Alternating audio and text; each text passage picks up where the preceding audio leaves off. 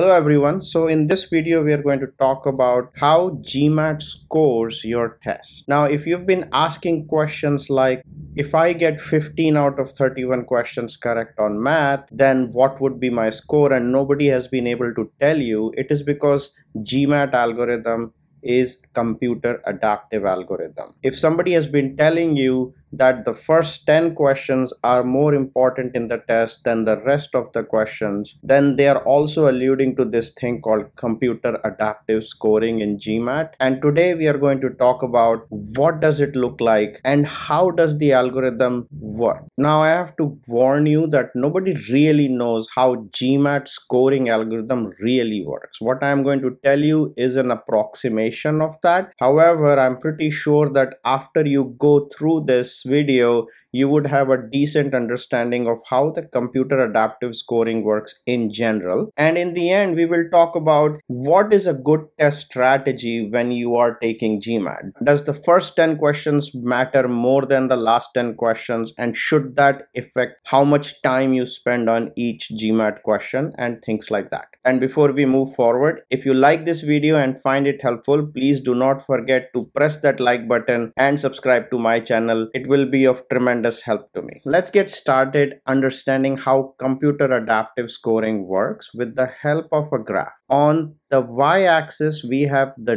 difficulty level of the questions and on the x-axis we have the question numbers. Let's say i am the test taker and the first question i get from gmat is somewhere in the middle an average question at 500 level. And i get this question right. If i get the question right the next question i get would be slightly more difficult than the previous question and that is how the computer adaptive algorithm works. So i will get the next question at this level. Let's assume that i get second question also right. So i will climb up the stair and i will get the next question at a slightly higher level. Uh, let's assume now that i get the next question wrong and i get every other question right and wrong sometimes more than one wrong sometimes more than one right and so on. Eventually i will come to a point where the computer adaptive scoring will look at the difficulty level of the questions i have gotten right and give me a mark of let's say 660 because the average of the difficulty of the questions I got right was 660. Let's now assume that I started a little bit differently and instead of getting my first question right, I started with getting my first question wrong and I followed kind of the same pattern, but with my first question wrong, I went down here. Then after that, I got my next question right, and then another one wrong, then another one right, two wrong, right, two right. As you can see, by getting approximately the same number of questions right or wrong, I ended up somewhere in a very different scoring range because the average difficulty of question that I was able to solve correctly was somewhere close to 500 rather than 660 and this is what the computer adaptive algorithm means. So as you can clearly see that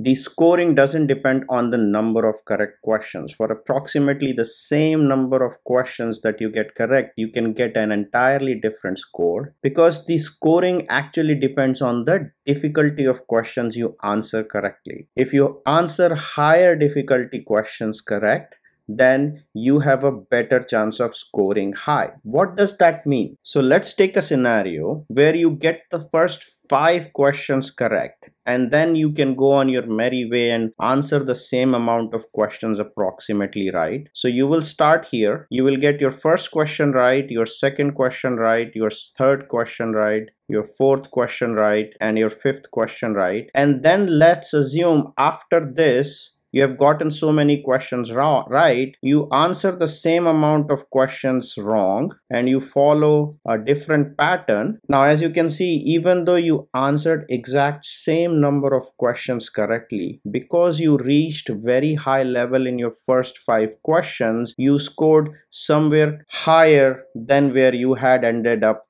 previously. And the reason is that the, getting the first 10 questions right can take you really high and if you get that high level of difficulty questions right your scores average will automatically pull up. Now, does that mean that you should spend more time in answering the first 10 questions? It completely depends on how comfortable you are with time management. Yes, it is advisable to spend higher amount of time in the first 10 questions so that you can get it right. However, what if you are not getting these questions right? Because as you grow higher in the difficulty, even if you spend time but you are not prepared right, you will end up getting those questions wrong and dropping down in the difficulty level. Additionally, since you have spent a lot of time on the first 10 questions, you would have less time to answer all of those questions. Remember, if you leave any question unanswered in GMAT, that counts as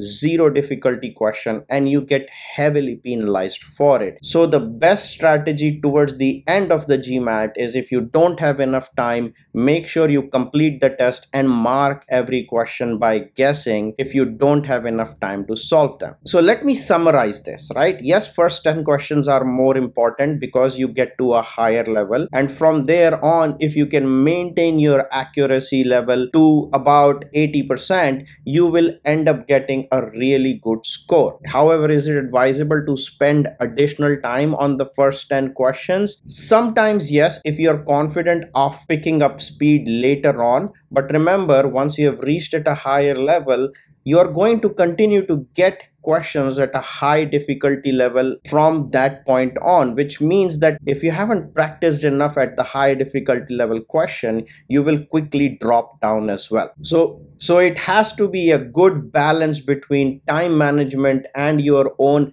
comfort level with higher level questions. If you are good at solving higher level questions, then spending a little bit of additional time on the first 10 questions to get most of them right actually makes sense otherwise it may not and finally towards the end of the exam if you're lack for time then guess and move on and make sure you complete the exam do not leave any question unanswered because it would be considered a zero response and even if you were scoring high difficulty level questions right all of a sudden you might be in a position where you drop down a few points because you left questions unanswered. I hope you found this video helpful. Do not forget to like and subscribe to my channel. Until next time, all the best with your prep.